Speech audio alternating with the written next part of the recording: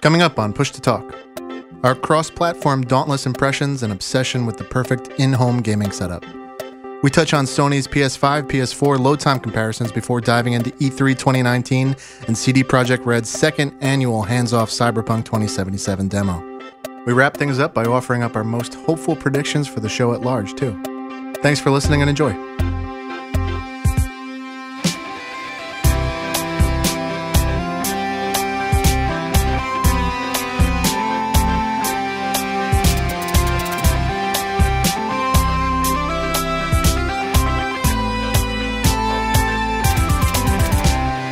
This is Push to Talk, episode 25, recorded Saturday, May 25th, 2019. This episode is brought to you by Audible. Audible is offering our listeners a free audiobook with a 30 day trial membership. Just go to audibletrial.com forward slash push to talk and browse the unmatched selection of audio programs. Then just download a title for free and start listening. Hello, everybody. I'm your host, Jan, and alongside we, as always, are Joe and Bill. Guys, how's it going? It's a beautiful weekend from what I hear. A very warm weekend for Bill, at least. Uh, it's raining here in Vancouver, but it's the weekend nonetheless, and that's never a bad thing. How's it going? It's going well. Um, it's raining here too, or off and on. It is raining here, and it is very hot. And uh, I don't know if that's a good thing, though. I, I might dispute you think, saying that's a good thing. Yeah. Well, we did move the recording to Saturday on my request. I appreciate that because tomorrow is supposed to be very hot here, and I decided that um, a rainy day would be better, even though people are now vacuuming outside or something. You can't escape vacuuming that. outside, like vacuuming their cars or the sidewalk. Like, what's going on here? The grass. Huh. I could see that happening. I know that uh, the whole time that I've known Jan, he's had some weird neighbors, so it wouldn't wouldn't surprise me at all if he told me someone was vacuuming the grass. No, it's. Uh, I'm sorry. I actually muted myself to close the window. I was hoping to leave the window open, but that literally lasted less than two minutes. um, they're not vacuuming, and I'm not meaning that they're mowing the lawn either. I. Um, I don't know what it is. It sounds like a vacuum. See It's now, the noise think- you don't want in your podcast. Is, let's leave it at that. So, episode 25 is where we transition from a video game podcast into what is going on outside Jan's window. That's Yes. what. Hey, we. I don't remember who I had this conversation with the other day, but it was about uh, robot lawnmowers, and I said if I had a big enough lawn, I'd buy one of those. You would, and I would hope you would record it because it would be one of your experiments with technology that would go awfully wrong, and I would enjoy it. God, that is Autonomous so technology terrifying. with sharp blades. What could possibly go wrong in my life? You have a Roomba, don't you? Or did you not? Do I that? do. I Does- do. Do you use it? Yes. Um, my it is a weekly Sunday morning routine where I wake up and don't even leave the bed and turn the thing on for about an hour while it slowly bangs around the upstairs uh, hallway, and it does a pretty good job of the areas where it actually can get to. Right. Yeah, I didn't pull the trigger on the Roomba. Uh, I'm glad I did because I now have four levels in my home, and it wouldn't make much sense. So, and like one carpet. Yeah, stairs certainly throw everything out of whack, and and I will say, like I bought the low end Roomba, and it's a dumb robot, right? Like it bumps into things and then turns a random number of degrees to one side and keeps going until it hits the next thing. Um, I, I really want, like, I feel like if anyone's going to invest in autonomous vacuum cleaners, get one that's smart where you can like teach it a floor plan or something so it can actually know where it's been. Because this thing will bang around under the bed for half an hour and then be like, "I'm done." No, you're not. Right. you know what? It, it's kind of like AI from 2010. So, video game AI. Pretty So, much, yes, yeah. look, we tied it back in. It's relevant. Wow, nice you job, go. guys. That was really impressive. So, well, now that we're back on video games, what have you guys been playing? Why don't we start with Bill? I know you've been playing something out of the ordinary for once. Yeah, I've been playing a lot, man. Um, but I'm still not quite where I want to be. So I'm trying to get a little closer to Joe in terms of trying new games more frequently. I haven't really done that. Um, one game. So I played um, Destiny 2 because we always do. Let's move on from that. Um, played a little bit of The Long Dark because I always do. So let's move on from that. But what I did, which was significant, is I moved my PlayStation from my office downstairs, hooked it up on the big 70 inch 4K HDR, uh, and I started playing Red Dead 2 again. Um, and I play Overcooked, Overcooked, the first one, because it was free on the PlayStation Store, and I'm playing it with the wife because she's a fan and she always tried to play it solo. That didn't go well, so now we're playing together, and she yells at me and tells me what to do and when to chop things and if I get onions instead of tomatoes and how that goes horribly wrong. Yeah, I was I was going to inquire as to the uh, the the marital um like what's the actual status of your relationship after playing Overcooked because it is sort of a stressful game if you play it with somebody else. Well, it's not bad because I see I don't have an ego about it. So I said you're the boss. Um, you tell me what to do. So we'll go through a level and we'll figure out like, oh, okay, this isn't working. So you know, we went through. We were making hamburgers once. Uh, so we went through and I it didn't we didn't do very well. And I said, here's all you need to do is tell me what kind of burger to make. There's three kinds. There's like just a regular burger, one with lettuce, one with tomato, and then one with everything. So just call it out, and then I'll make the burger and I'll pass it over, and you cook it. And yeah, so we've been doing very well with it. Um, but it, it's we got to fail once and then kind of work out our mojo on each level. But um, she's definitely the boss. She knows the game better than I do. Uh, she's played it a lot more, so I think you know you've just got to concede that you know you're not the the video game guru or whatever. Smart. Yeah. So Red Dead's been good um, because I played it for review. You know that. I played it for review. I played it for guides for Shack News, and I didn't sleep for two weeks or whatever while I was trying to get through it. And I found that when I played it, I was pushing so fast to get through it that even when you started playing Jan, you were saying things like, Well, I'm sure you know this side quest. And I'd be like, Actually, I don't. Right. Like I was missing things and I was missing experiences and little details in the story because I was trying to beat this gigantic game, um, which I did. But now I'm playing it kind of at my own pace. Um, I had a buddy who beat it over the course of like four or five months and he loved it. And he took his time, obviously, because four or five months. And I really want to do that. So I'm now feet up on the couch playing Red Dead on the 70 inch TV. And uh, I'm enjoying it a lot just to sort of like go back through it and, and not feel like I'm on a deadline. So did you did you start from the beginning and start fresh, or are you just revisiting your old character? No, I started from the beginning. Um, I'm somebody who likes to play through things multiple times, and I, you know, we talked about we all, all, all three of us talk about Game of Thrones, and I enjoyed my second and third um, runs through that show way more because I picked up on details that made more sense in season one now that I'd seen like season six, for example. And in Red Dead, it's the same thing. Like I know how the story ends and I know how things go, but I'm enjoying watching scenes that I know have an impact 40 hours down the line. So I've I've I've started fresh and I'm it's been pretty good. Yep. How many times do you have to watch Game of Thrones season eight for it to become good? Um, zero. Yeah. You just pretend it's good. Sure. You just pre- make up your own ending. Call it done. All right. Yeah, you might as well. What about Joe? What's Joe been playing? Jeez, nothing cool. Nothing cool. Hey, don't say that. You played something with us last night. All right, I'll end there. But I'm still I'm still going through the messenger, which now I can't remember if we talked about last week at all. I don't think so. It doesn't ring a bell. Okay, so it's a uh I guess like a Ninja Gaiden, like old school. Um, but the conceit of the game is that it kind of morphs over time into different visual styles and different genres. And I think that's why it got popular a couple months ago when it released.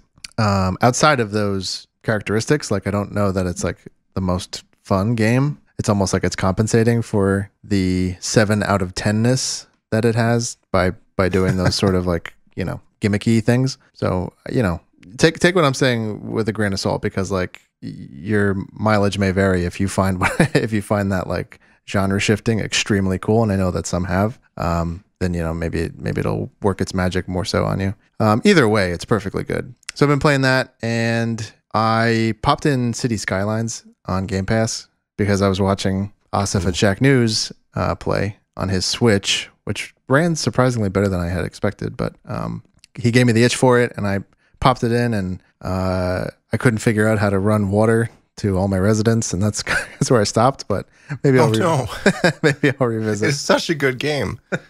no, yeah, no, I'm no no condemnation here. I just couldn't figure it out and uh, got distracted. So I'll return. And Okay. I'll return to it and you know make sure that everyone has drinkable Well, water. as long as you didn't rage quit it over water. Oh no no no no no no rage no rage.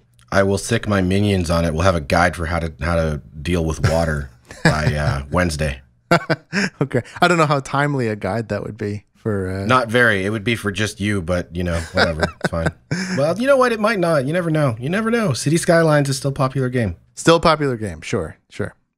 Um, at any rate, uh, seems cool, and I, I hope I can figure out the basics so that I can build Hawkville or whatever. I, I do have a question for you. Yeah, you. please. It's not off topic, but it is. It's maybe out of uh, not expected. So, do you rate every game you play? Like, do you give it a score, just personally? oh no no no, because that's not fair, right? So like, Okay. I, we're having this conversation about City Skylines right now, and and I'm I'm saying I don't understand something, and it's not the game's fault. I just didn't I didn't get there yet. What about every game that you beat, though? Oh, for sure. Oh, so you do score every game you beat. Okay. um, I was I was curious about that. And what's what on your review scale? Like, what would a seven be? Is a seven good? Is it great? Is it probably not great? But Seven's good. I think officially it's seven is good, which also might be the Shack News good, if I recall. I think it is. I think um, I'm trying to remember. I'd have to. I always have to reference it myself. I think uh, six is above average, seven is good, um, et cetera, et cetera. So, and Shack News has never given a perfect score ever. Is that true ever? Yeah, it's never given a perfect score.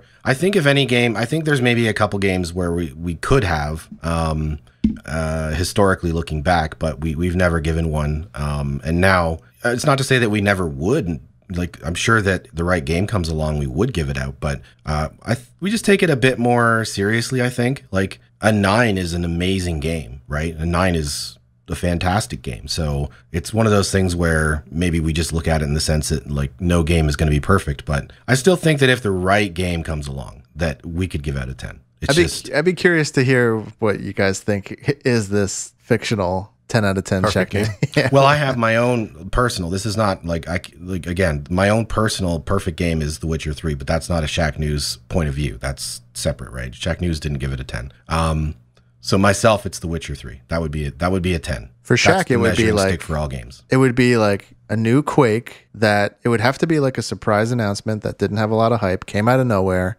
blows everyone's socks off, gets everyone back into arena shooters in a big way, and is just like runs flaw- flawlessly and is cross-platform, like does all those things right. That's the that's the quintessential perfect Shack News game. I agree, and I actually think I like that you said that it would have to kind of come out of nowhere because I agree with that too. Um, I I think that you know Shack News and myself and all the people there, we really do enjoy uh, games that sort of like catch you off guard. And I know like a recent example of that would be Tetris 99. Mm-hmm. Yeah. So yeah, but no, they've never given a ten. Um, we've never given a ten, but they, in the sense of that I haven't been there for twenty years. Um, and I don't know. So I I kind of like that too. I don't know. It's weird. I, I don't want to dig too deep into the psychology of it because um, I haven't really prepared. But you know, I kind of dig that we don't just throw perfect scores on popular games like a lot of sites might. Yeah, totally. As long as it's never like proposed and then shot down just because it's not allowed. Which and and I've been I've been a member of the staff there, and I could say it's I've never witnessed anything like that. But that that would be the only issue if it was like if if it was wrote that you cannot give a ten, that would be silly. No, that's not a thing. Yeah. Personally, I don't think I'd ever give anything a 10. I'm way too grumpy for that. I think I could find flaws in just about anything. Yeah, and maybe this is something that we should put on the schedule for like a deep topic because it is a good one. Um, I don't think that a 10 is about a perfect game. I think that you look at it more about a perfect experience. You know, it's not about judging the wires that sort of make it run. It's about judging sort of like the way it makes you feel. And of course, you do have to judge its performance. I'm not saying you don't, but um, I think that the result sometimes can sort of cover up maybe a few of its flaws. Like we agree in The Witcher 3 that Roach is a terrible horse, right? I still think it's a perfect game, it, for me at least. Um, but that horse, man, that that's that's rough. Yeah, there. Yeah, there's there's a few there's a few issues in my my opinion, but um, The grumpy gamer. yeah, probably trademarked by somebody else already. Almost. But- certainly. I yeah. So the, I guess the other game that we all played yesterday, we we sort of wanted to make a concerted effort. So the the backstory is that you know Bill and I usually play on PC, even though we do have a PlayStation 4 and Xbox as well. Um, and Joe doesn't game on a PC, so we've been looking for a game that's cross-platform that we can easily sort of hop into.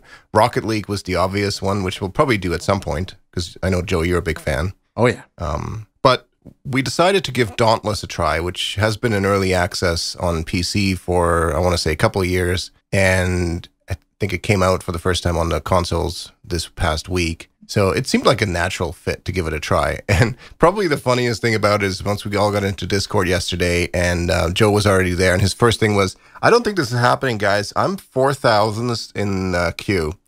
um, fortunately, I feel like the queue is exaggerating a little bit because Yeah. it took maybe two to three minutes to actually get in from position four to 5,000. Yeah. Um, what do you, what do you, so we played for a couple hours. Yep. Um, what were your impressions, Joe?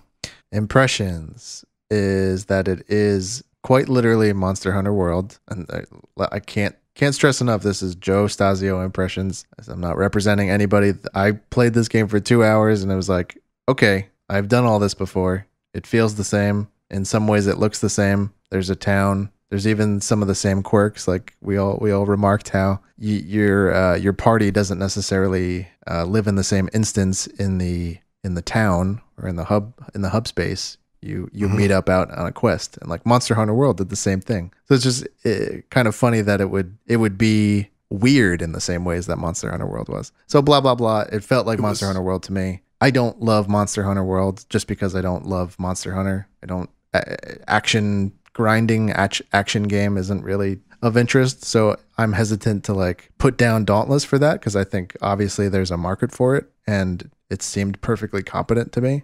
So really, I'm more interested in what you guys think because I know that well, at the very least, Bill does like Monster Hunter. So I think he'd have a, an an important opinion on Dauntless. Yeah, I'm pretty uh I'm pretty high on Monster Hunter World. And I never played another Monster Hunter before that, so that's worth noting too. Um I I felt the same.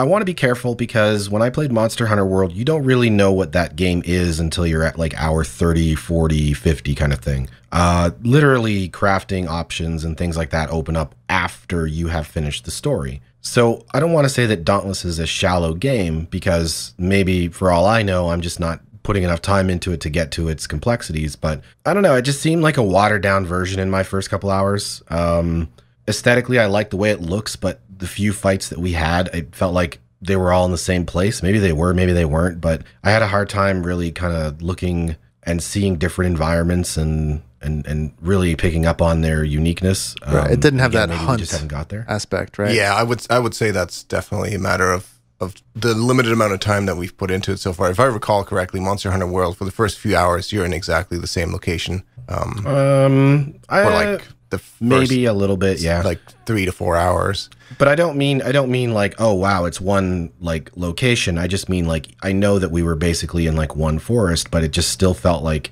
over three or four fights, it almost felt like it took place in the same ten you know ten Yeah. squared feet kind of thing. Right. There was definitely Um, a lot less of the like Monster Hunter World has a lot of the track this animal and you get to experience different areas of the same region and it was certainly a lot more varied and detailed, which I guess is probably a, a sign of the development team difference, right? You've got Monster Hunter World developed by a pretty big team, and this is developed by a small group, uh, Phoenix Labs. So it's more an, an indie title, but um, but yeah, I would imagine that with more time, variety would increase. Yeah, I think that's fair. Um, but I still I don't know. It just made me go well. If I want to do this, I might as well play Monster Hunter World. You know. Yeah, Um, Well, the the big the big difference, of course, is um, Dauntless is free, free to play, and um, it did have some of the same quirks as Joe mentioned. Um, however, um, if I'm correct, Monster Hunter World doesn't really have a social space at all, aside from the what did they call it? That ship was it the ship at the very top? Uh, there is a social space, but you have to go to like the top of the ship, and then you can sometimes Yeah. see your buddies or something. But it's, it's Yeah. for all purposes, it's not. A It was a space. very small place, whereas at least in uh, in Dauntless, the main hub, the city, town, whatever you want to call it, um, was fairly sprawling. It's where all the NPCs were, and you were there with other people. Um, and it seemed like after you got together with your party to do a hunt, when you returned to the social space, you were all in the same instance after that. So it's just it suffers from the same weird design choices when it comes to grouping up together, which I just I found it strange in Monster Hunter World. I find it strange in this game. I feel like um, joining a social space as a group should no longer be a problem. Um, Destiny's been doing it for years. Other games have been doing it for many years. Like this, it, it's not a technical challenge, so it's must it must be some sort of design choice, which I just don't understand. No, I don't either. And I've spoken previously, maybe not on the podcast, but just in general, that like I, you know, I stay up past when a lot of my friends go to bed and I play games. And so I have to play alone. And there are times when I just don't want to be isolated when I'm playing. And the one thing that Destiny gives me is no matter where I go, there's people. Yeah, Whether it's patrols or the tower or matchmaking for an activity, there's people there. Um, and you feel that connection to people. You may not be talking to them, but they're there. Monster Hunter World definitely has a bit of that, but only when you're on an actual hunt, of course. Um, and Dauntless, I think, did a better job of the social space, probably just connecting people than Monster Hunter World did. But um, aesthetically, I prefer the Monster Hunter World social space, though. Totally. yeah. So the question is, are we going to go back? Well, I will be back, if only as a means to spend time with you guys. But as a game, Well- yeah, it didn't interest me so much. See, I'm more to say that was fun. let's play Rocket League. Okay, now, now we're talking. Because I, I like Rocket League, and I just feel like with Dauntless, it was like we shouldn't be playing a game only to hang out together unless there's no other options. But there is. There's a, there's an option that we we don't have to debate about. We all love it. We all love Rocket League. So it just makes sense to me that we we can look for other games in the future where we can kind of connect as a group and play. But we have one in Rocket League where everybody's already on board. So So Rocket League, of course, has crossplay between the consoles and the PC. And Bill, you and I, we played it on PC in the past. But I'm just thinking, you brought up your PlayStation 4 earlier, and we talked pre-show about how you moved it back to your living room, and it's sort of a much nicer console gaming experience as opposed to sitting at your desk. Like if you're going to be sitting at your desk, you might as well use your PC. And I'm sort of in the same of the same vein. I think I agree with that. Um, what I'm curious about though is, I, I guess we probably cannot transfer our PC progress to say the PS4 version of Rocket League, which I feel like I picked up at some point. It was free or part of PSN Plus or something. Um, Yeah, it launched know free that. on PS Plus. Yeah. Um, like, would I, ha- I I wouldn't want to have to start over. So I'm looking it up now, and what we're talking about specifically is Psyonix launched their Rocket ID platform a couple months ago, and so what we're asking is, can you merge Rocket IDs? Be, just because by having an instance of the game, you are given one by default, right? Yeah, so there's there's two sort of ways that publishers or games have done this in the past. They've offered you the ability to transfer it, which basically take a copy of one platform, copy it to the other platform, and then progress from there. And they're still two separate entities, though. Ideally, I would like to just have one, and I could play on PC or PlayStation 4. Right, right. I'm I'm with you too, and and I can research this because I would like to merge my Switch and Xbox accounts into this one is where ID. we need to we need to uh, phone a friend. Um, we need to call Asif because I feel like this is exactly what he was talking about the other day, uh, like a week or two ago. Um, where I don't know if they've really stated whether or not this is going to be a thing. Um, and the big move from Steam to Epic was, you know, people are concerned about whether or not all the things that they purchased and they bought on Steam, whether those are going to transfer over, kind of thing. I'm not sure. Um, I, I don't like. I don't understand the topic well enough to speak with authority. So this is where we definitely need to either research it or, like I said, we gotta we gotta phone a friend. Yeah, I'm going to lean, educated guess, lean towards they don't support it due to DLC issues, like like actual transactions you may have made on one plat- platform versus the other. Like if you buy a car through Xbox, which I have, Nintendo Switch doesn't want to give me that car for free. Yeah, this is where it all kind of ends up falling apart, right? Um, And this is the same concern that people have with um, Epic buying Psyonix uh, and potentially moving it, or almost definitely moving it to the Epic Game Store on PC,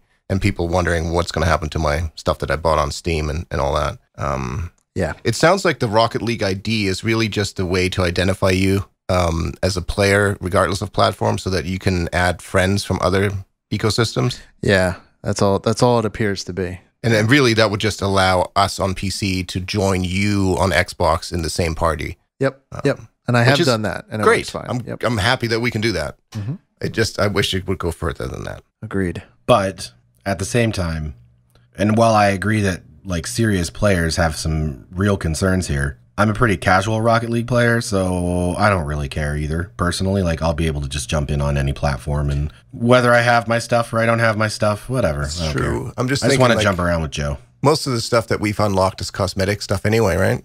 I think that's all it is. I don't think there is more than that. Yeah. like That's all that exists. Well, I mean, vehicles and like packs that you Yeah, but buy, but they- it's still cosmetic.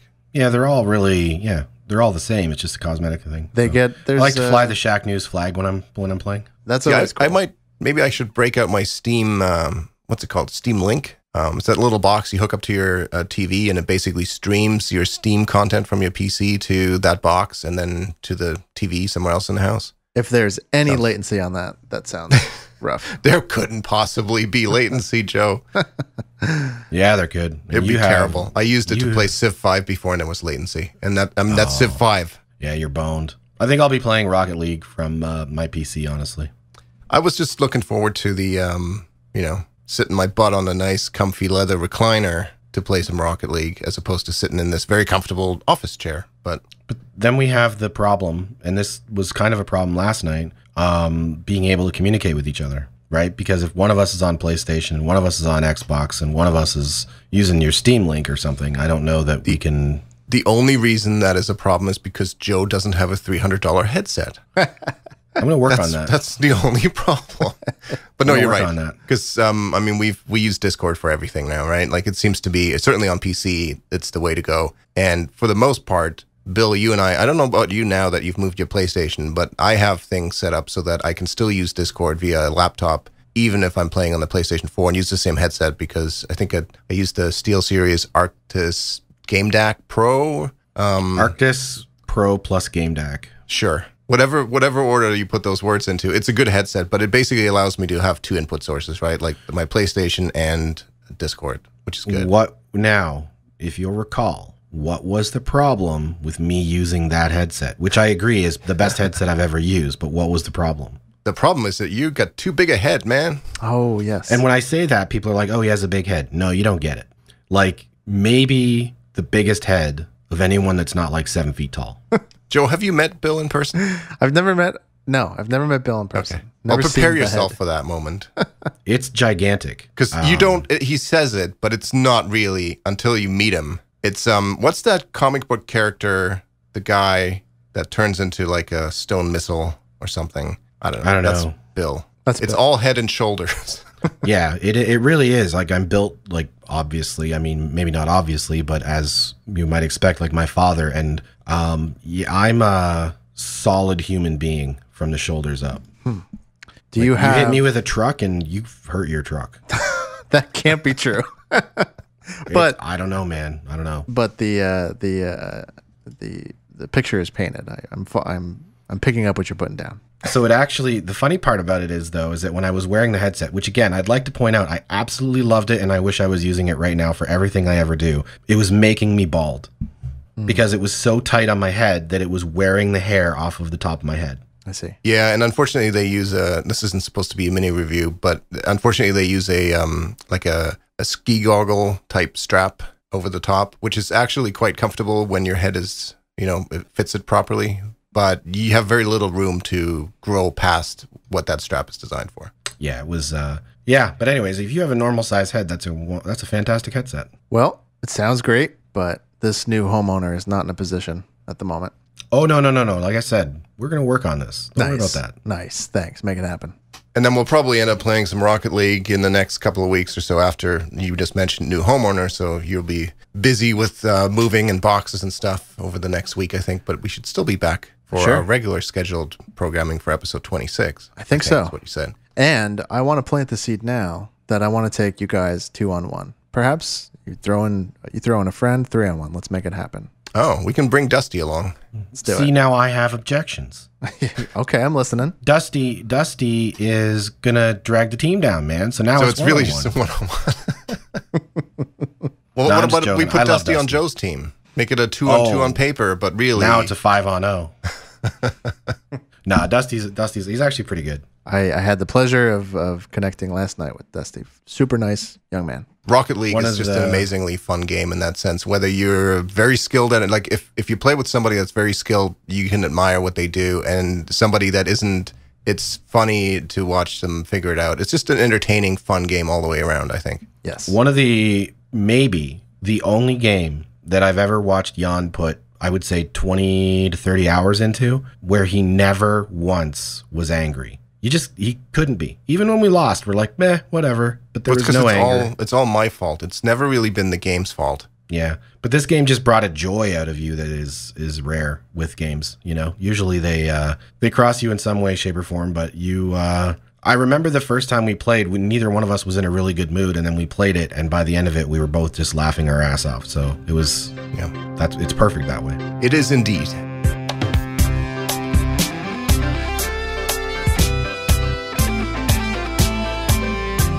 All right, let's talk about a couple of news stories that happened in the past week or so. Um, we talked about the PlayStation 5 a few episodes back, I think, um, which was sort of announced, but with very few details a while ago. And this past week, um, a video leak that sh- actually showed the improved PlayStation 5 load times. Now, this was talked about before during the initial announcement. People have said that they used uh, Spider Man to demonstrate how much faster the PlayStation 5 is when it comes to load times. Um, and this was due to the, you know, specially designed SSD that they have in the PlayStation 5. We talked about how SSDs are sort of a given, and who knows what kind of magic sauce Sony put into that SSD to make it so much better. But uh, did you guys watch this leaked video where they could actually see um, some of the demonstrable faster load times on the new PlayStation 5? I did. What did you think? I, I feel like it's like a highly curated thing we were watching, so like it's hard to be impressed by it because it's like it could have it could have easily been manipulated in any way.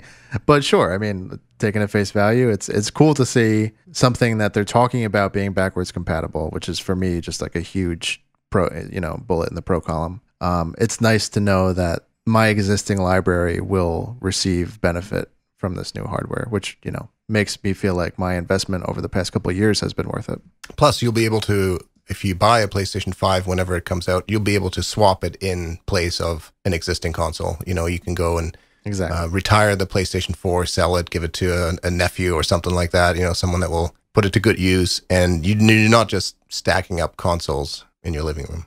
no, we want to avoid that for sure. But you're right. As far as it being curated, I mean, obviously, this was like an actual demo. So it was a demonstration of look how much faster we've made this. So clearly, they picked something where they got the most, you know, bang Exactly. for the for the buck there. And um, I, I haven't personally played Spider Man yet. It's on my list of things to do. Uh, but load times on consoles can be pretty poor. There are many games where that suffer from from terrible load times. So doing something as seemingly simple as speeding that up can actually really improve the the experience. It's one of the things I always tell people when they're looking at upgrading their PC. It's like, do you have an SSD yet? And if you don't, that should be your first upgrade. So it makes sense. Sure. I don't know. I'm a grumpy PC gamer, so I see the benefit in having a faster console. Of course, like the PS5 should be significantly faster. Load time should be better. Otherwise, what you know, what are we doing here? But it always bothers me when we get into this um, marketing uh, cycle of new consoles where we talk about their power. Can we just stop saying power? Because they're not. They're not. They're not powerful What would you prefer? look how much faster it is than this. But like, and I'm not saying they didn't do this in the demo. They obviously did show how much faster it was than the PS4, and that's great. But I really dislike the idea that we're developing powerful hardware. We're not compared to a PC. It's like saying like, look it, we made a car that goes 80 miles per hour. Our last car only went 50, and PC's over here going, okay, great. You know, um, so I would rather just like if we want to talk about how much better it is than the PS4, that's one thing. But they always get back into like like Sony always markets it like the power of the PS4 Pro.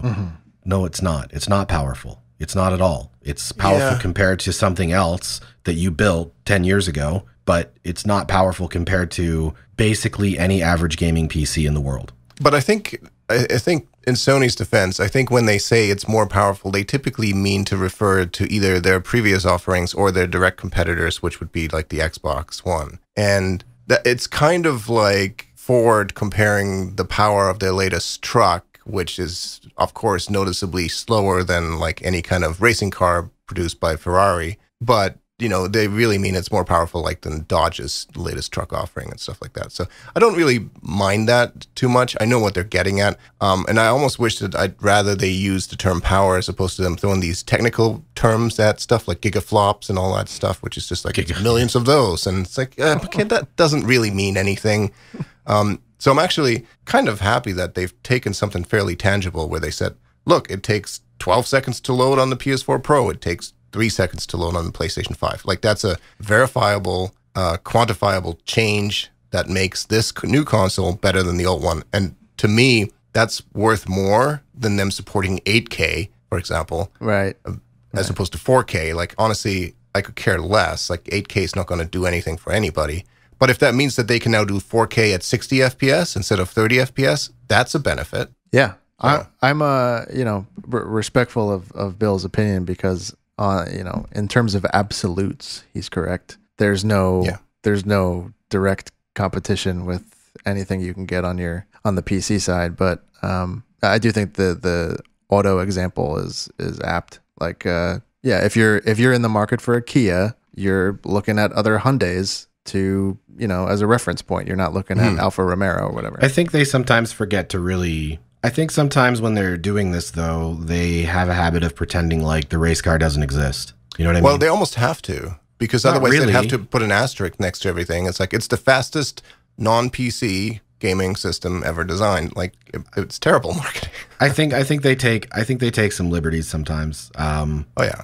Just in the way they word it, which is, you know what, like they know what they're doing. They're um they're professionals at marketing this stuff. They're professionals at building this stuff. It just it just does kind of annoy me a little bit. Um, you know, I remember there was some backlash when the dude who made uh, I forget it was a co-op game, PS4 only. He was the guy that was at the video game awards that made an ass of himself. Oh yeah, the brothers guy. Is it brothers? Yeah, yeah, yeah. Oh, Yeah. a way out. A way out. A way out, right? So someone asked him what it was like developing on the PS4, and they kind of asked him in terms of like from the perspective of the power, and he went, "It's like a five-year-old PC," and that was my favorite quote ever about PlayStation 4. And you know, I don't know, I'm just.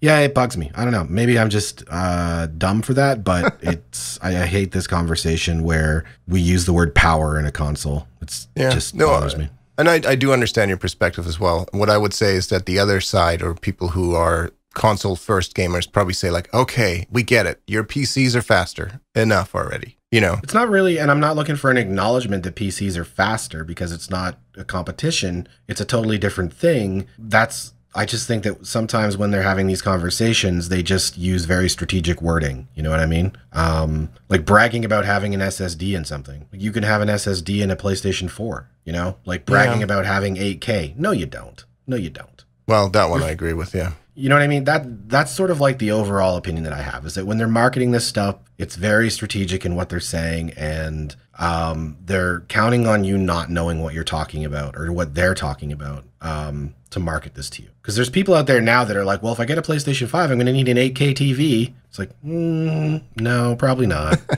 Yeah. You can probably say that about most marketing. So that that's probably fairly fairly generic. But but you're right. Um, so we'll say I just hate all marketing. There we go. Yeah, speaking of marketing, this this one you won't hate because um, E3 is coming up, and E3 at you know these days is basically all about marketing. And um, Cyberpunk 2077, the next big game from CD Projekt Red, the makers of Witcher 3, which is your favorite game of all time, if I'm not mistaken, um, said that they will be at E3, they will be on the show floor this year, but the game won't be playable.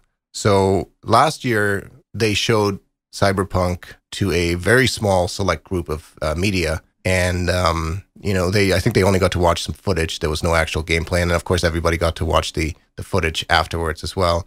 But this year, they'll be on the show floor. So I think people will be able to, at least with their own eyes, see something, but still not be able to go hands on. Yeah, I don't This- read too much into that personally. I mean, it seems Like like, a natural progression, right? You go from behind closed doors demos to public demos to eventually, you know, public and private hands on actual gameplay. Yeah, and there's the thing is like people say like people are looking at them saying like it won't be hands on as oh it must not be ready, it must not be close. That's possible, but there's also a thousand reasons that it might not be hands on that could have nothing to do with its timeline of, you know, when it releases. Could be anything. It could be that the build that they are able to get finished in time for E3 has bugs in it and they don't want to present that to people in a playable fashion. Like we have no idea. We have no idea why it's not playable, right? I mean, unless I'm misreading the story. No, you're right. And um, there, there's certainly the opposite scenario quite frequently where the game is playable at E3 or some other conference. Um, and that means nothing about how soon it's going to be ready. Um, the game that comes to mind, and I, I think I'm trying to remember correctly, but I feel like Skull and Bones from Ubisoft was playable at last year's E3. I know it was behind closed doors because I went and played it, and they just delayed it until at least spring of next year. So just because it was playable a year ago, it doesn't really mean that's going to come out. So I guess you can say the reverse of that is also true. Right. Yeah, exactly. Um, I just I think that the the take that a lot of people have from the fact that it's not playable E3 is to say that that means it's not close, and I don't. That's maybe it means it's not close, but I don't necessarily think that that's a guarantee. That's all. Could be a lot of reasons personally Sure. that I think. This seems like the kind of game where I really want them to take their time with it too.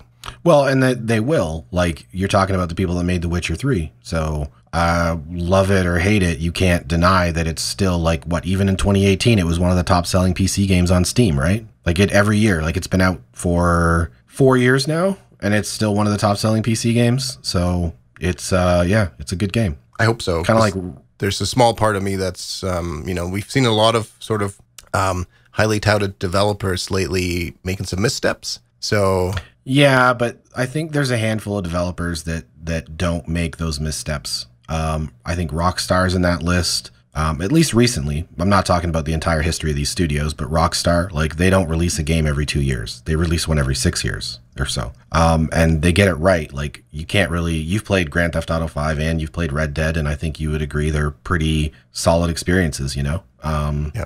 Their open worlds are very involved, and there's a lot of detail that gets missed in by studios that release open world games every two years. I Um, just and- wish they would do more with those games in between. And they do offer lots of free content. It's just not the kind of content that I want. No, they're pushing the online, and I get that. The Witcher didn't do that though. There was probably like 20 DLCs that were free, um, like card sets and armor sets and things like that. That you like free contracts and missions. Like there were paid DLC, but there was also a lot of free stuff. But um, CD Projekt Red comes across to me as a studio that's going to get it right. And Cyberpunk will probably be in the same quality level as The Witcher 3, and it'll probably be relevant for four or five years after it's released. And, you know, I think that's what they do. Are you excited about this, Joe? Cyberpunk? I think so. I'm scared of everything they make because it's just so How, daunting. how so? Explain that. it's no, no, it's just it's daunting. Um, Yeah. it's the scope is scary, is all I mean. And um, uh, it took me a long time to get through The Witcher Three, and despite liking The Witcher Three, it didn't leave me with the ten out of ten feelings that Bill had. Not because it didn't pull off what it was trying to do, but it was just too. It was too much for me, and uh, that's what I'm worried about from Cyberpunk for me. Yeah. Yeah. It's, it's a big commitment kind of game. Yeah, like to the nth degree, like to to the nth degree of what's even possible. I still haven't finished all the DLC for The Witcher 3. I finished the main story and I finished one of the. How many main DLC packs were there, Bill? Two or three? I finished the There's first two, one, yeah. the Heart and Stone or something like that one. Yeah, and Blood and Wine is arguably the best content the game has too, which is Yeah. the second DLC. I need to go back to that. i I'm like halfway through that. That's really good. Um, yeah, I understand what Joe's saying too. Like, uh, I think like as Joe gets to know me more, you start to realize that like with my like for listeners, like I've got back problems that prevent me from you know being a pro soccer star kind of thing. Um, I have a lot of time to game. So if I wanted to sit down after we're done recording this podcast at four o'clock and play a game until four a.m., I can. Like I just have a lot of free time when I'm not working or whatever. So a game like that fits my style. Like I really like diving into those games that are 100 or 150 hours. But um, I that's very rare, right? Most people just don't have that. They don't have that luxury. True. So you know they need those five hour, ten hour experiences that they can sort of just like finish it, bite sized, move on. So I, I, I see that. I'm just excited to hear more about the game because there's a part of me that's worried that the genre or the, the setting isn't going to be something that I enjoy. And so I, I need to see more. I, I love the fantasy setting of The Witcher. Um, I'm less enthused about the futuristic cyberpunk type setting. It's just like a personal thing for me. hmm Yeah, uh, I could go either way myself, but um, more I more so have like just faith that it'll be achieved. You know, as silly as that might sound, it's just like whatever it is, you pick your setting. I just like they've earned my trust, I guess. So it's like if they want to do some sort of like deep plot in downtown Detroit in 1970, I'll be like, what? Weird, but I'm sure it'll be good. like so, uh, they, Yeah, that's sort of where I'm at too. Yeah. Circling back to what what Jan was saying, um, there's certain devs that just they've gotten it right consistently enough over the last few years that you can sort of go, this is probably going to be pretty good, and I can you know pre-order it. Whereas there's certain devs where you're like, mm, maybe I should wait. Yeah, and you know what it is too with CD Projekt Red is that you don't have this feeling of The Witcher 3 being an anomaly where it's like I can't understand how they pulled this off. Although I think it did start that way. But as you dig in I, and like I think like Noclip did documentaries and there's been pl- plenty of coverage about how the game was made and it became clear that The Witcher 3 was the product of tons and tons of passion and time and care and crazy talent right but it wasn't it wasn't this like AAA game that was born of crunch and like tons of cash the way like Skull and Bones might wind up being. Um, so that's why I feel like I have more faith because it wasn't like somehow they pulled this off in like 18 months and they got it together. Like, no, it's like they're going to take their time. And that's why there's not a whole lot of fear that they'll screw it up because they're just going to take their time until they get it right. I agree, and I think it goes back to um, it's sort of it's the difference between having going to like I don't know, like in Canada we have this place called the Brick where you can buy furniture. You know, it's it's like you can go to the Brick and buy some generic piece of furniture for your house, or you can go to the dude down the street who's going to handcraft it, you know, in his garage over the course of, you know, six weeks with passion. And you know what I mean? Like that's sort of the way I look at a lot of developers is that you definitely have developers that are, um, they're kind of following a blueprint and a formula where they just keep cranking out these games over and over again. And there's realistically not that much different between them. But then you have some developers, and there's not a lot of them, and they are worrying about every inch of that open world. You know what I mean? Like every tree, every bush, every stone, and everything has a place and a purpose and has thought in it, and it's not just filler. And The Witcher 3 gave me that vibe, um, and I think pretty good chance Cyberpunk will do that too. Yep. You know what else does that? well, that? at this point, sorry, go ahead. Uh, and I'll let you segue, Jan. But you know what else? what what other game does that? Breath of the Wild. Jan, you're on the clock. Go ahead. I I have started it. Um, I started it a week ago when it was a nice day, and I went to try out the whole uh, Breath of the Wild in the hammock concept that I've got going here, Mhm. and it worked pretty well until I realized that um, any kind of daylight makes the Switch become a mirror. So um, Yeah. I, I bought like a little uh, anti-glare screen protector thing, and that helps a little bit. Um, but I, I've I've played for about an hour. Uh, my my big time will be in towards the end of June when I have some time off from work, and I plan to really dive into it. But so far, so good. Perfect.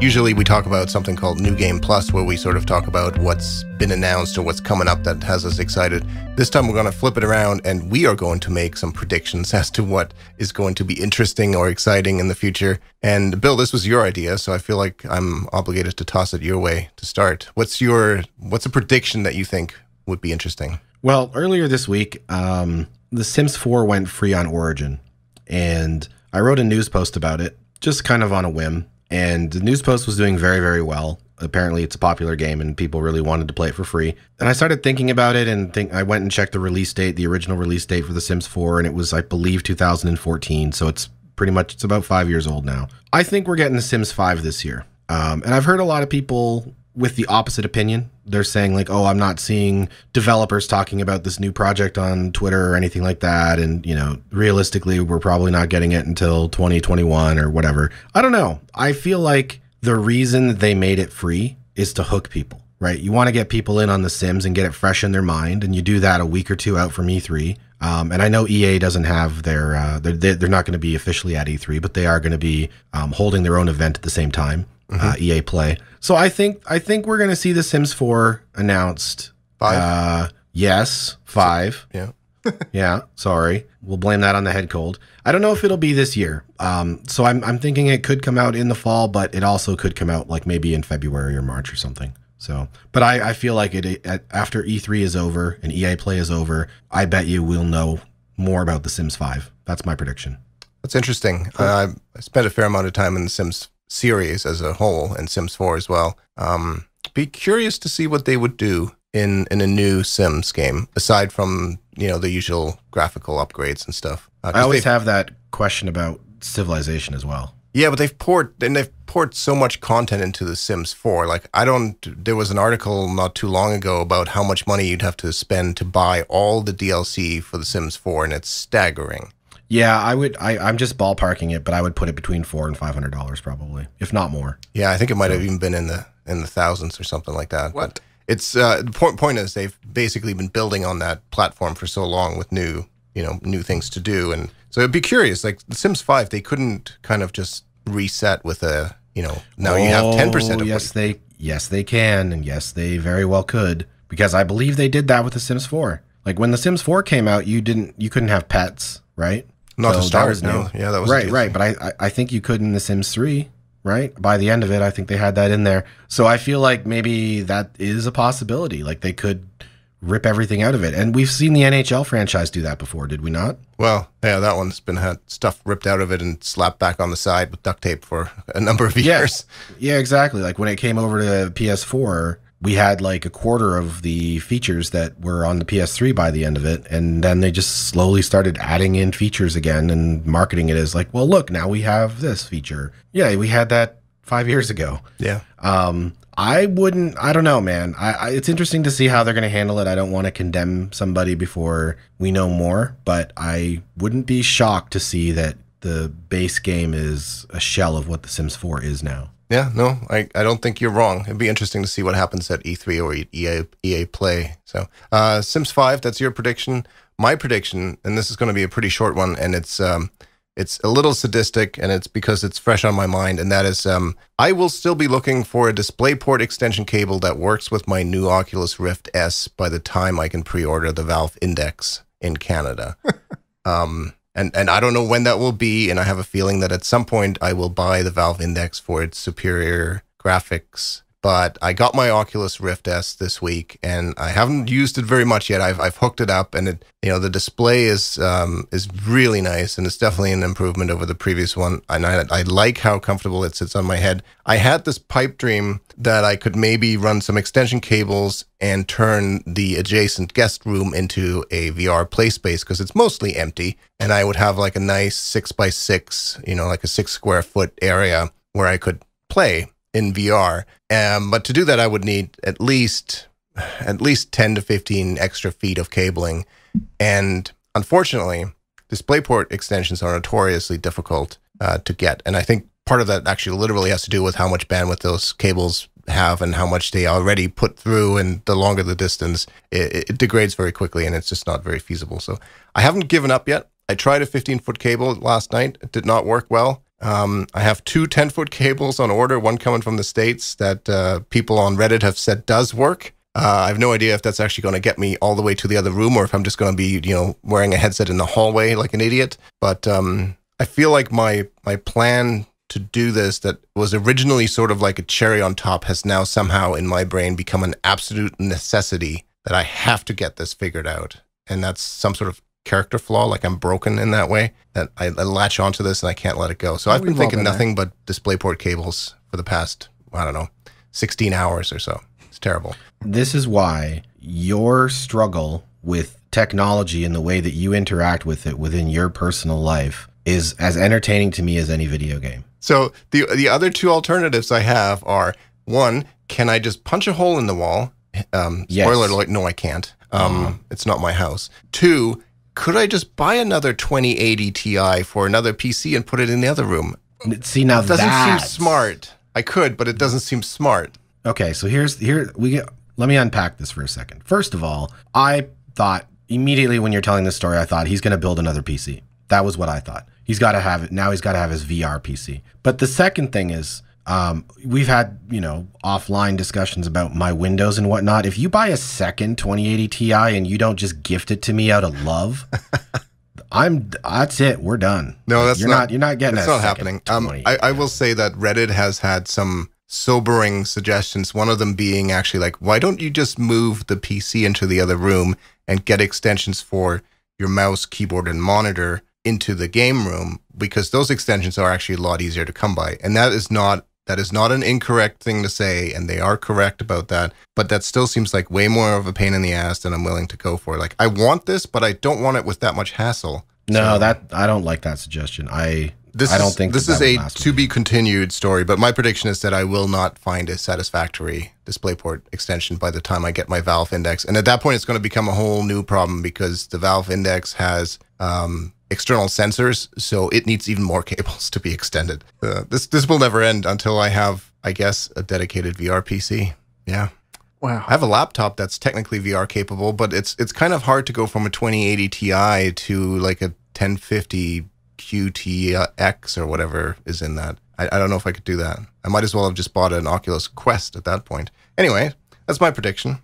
Joe, what about yours? My prediction. First of all, I'm I I'm with Bill uh, this is like this could be like a really epic saga, and I'll say that as someone who's trying to like figure out his living space, I'm having similar internal battles about like which room gets the Xbox. I've never had those are very important decisions to make, especially when you first move in. Yeah, and I've never had to think about anything like that. Uh, now I have more rooms at my disposal than I've ever had in my life. So it's it's it's new. That means two Xboxes. I don't like that idea. I I did think of this. Then this is insane, and won't I won't do it. But I I had the idea to make like a server style station in my basement and route everything through like uh f- you know through HDMI splitters so that I could run HDMI cable to any room and I could therefore play any console in any room, which would of course necessitate having USB plugs to plug a controller in every room. It got messy real fast, but the idea did cross my mind. Yeah. Now that I'm telling you, Jan perked up when he heard that. He's like, "Oh, The, but the only okay, so the only issue though is HDMI is easier to go over long distances than DisplayPort. Mm-hmm. Um, it seems like another potential option is to buy a two hundred dollar DisplayPort signal booster, but this is all starting to get very expensive very quickly. Yeah. So, but I, Oh, I I, meant for totally Joe. no, I know. I believe me. If I was moving into a brand new house, I don't think I could move in immediately. I would have to take off all the walls and run cabling for about a month Mm-hmm. Yep. before I Uh, could that's- actually let other people get in. as somebody who bought a house in August, and you you know this because I was talking to you as I went through this. Um, I ran Ethernet, so my modem right now is in my basement where uh, the cable actually comes into the house, and I have run Ethernet to every room in my house. Yeah. So now I have like ports where I just plug in, you know, Ethernet, and uh, that has been amazing. I will I will say that it has been amazing. I don't have the same problems Joe has, but now I'm equally interested in how he solves his issues. I I don't want to get like. Trust me, I will not be doing what I just said. So I don't want to like anyone too excited. No, but even at a No, small but- scale, you get to that point pretty quickly where like, you know, I would I have more space now, so I should really organize things more like the whatever the media station goes over there and you know the gaming stuff goes over here, but you needed to talk to each other and wireless is not an ideal solution for a lot of these problems. So inevitably it comes down to how long of a cable can I get and how do I best hide it because I can't just have it running across the floor. Well, through the walls, which you do not have to knock out, you can fish it, and it works well. Um, and you said wireless just now, did you not? Can I can I run with that for a second? Sure. Do you remember? And this is slightly off topic, but funny. Do you remember when Dusty had problems with his internet connection forever playing games, getting Yes. booted out of stupid situations? And I imme- like after maybe six months of this, I said, Dusty, are you wireless? And you're like, no. And he's like, yeah. And I'm like, okay, end of discussion. It's it's it's your problem. So yeah, we had a buddy who was trying to play games online wireless for like six weeks or six months, and it was a nightmare. So wireless, you're right, is never the option. But uh, Joe, I, I I think you probably need to at least fish Ethernet through your entire house. Oh, trust me, that's happening for sure. yeah, it has to happen. Yes. wireless is terrible in houses, man. Too many floors and levels. and Uh, yeah, yeah, yeah. space and I'm a uh, I, I'm a boutique console gamer, so I don't use Wi-Fi. I do console, sure, not a PC guy, but it's all wired. It's all hardwired. It's all formatted very nicely. Everything's dusted, clean. It's good. It's good. My downfall was that I don't have enough Ethernet ports in every room, so I only have, I think, one of them. Um, maybe two. But that's I fine. You just get a switch. Yeah, get a plug switch. to that, and you're okay. no, but I don't. I don't get a switch. You know me. I don't do that. Oh, too messy. So my PlayStation 4 is wireless in my living room, but I don't play any games online. I just use it Mm-hmm. for updates, right? So it's not a big deal. Um, right. like when I'm playing Red Dead, I'm not playing Red Dead online yet. I'm not playing NHL. I was going to say. I'm yes. just- You just said we should play that, and you can't be doing that wirelessly. No, but I can just grab the Ethernet cable out of the back of the Apple TV for uh, two hours and plug it into the PlayStation. That sounds like so. a terrible inconvenience, man. no, it's it's actually very accessible because I already have to do that with the HDMI cable for the PlayStation because I don't. if I have to I've get run- up out of the recliner to unplug a cable and plug it in, then something didn't get wired properly, Bill. Ugh, No, and here's the thing. I don't have enough HDMI ports either, and I'm not getting a switch. So I already borrow the HDMI cable from the back of the Apple TV and put it in the PlayStation. Well, So when I want it, I, I flip it back and forth, but it's very easy. Like it's not, I don't have to crawl or anything. It's just like, you know me. I just don't want to buy more devices. So, so pedestrian. oh, just find your cable and shut it. Joe, we got a little sidetracked. Did you actually have a prediction? I do. I mean, it's I don't know how bold it is. I, I do think there's going to be a partnership, Nintendo and Microsoft, beyond just Ah. having like Cuphead on the Switch. I, it's been, you know, this isn't me like being clever or anything. It's been talked about plenty, but um, I, I feel pretty confident that we'll see something. uh, You know, maybe maybe in the way of like an uh, Xbox app for um, for for networking purposes, or you know, the on the on the more outlandish end of the scale is of course like the Xbox Game Pass being on the Switch. I think there's a lot more tech implications with that idea. Um, but anything's possible, and I think something will be announced at E3 and launch in 2019, whatever that thing is. Do you think it would include Nintendo games coming to Xbox? No, No. Okay. Only one road too far, isn't it?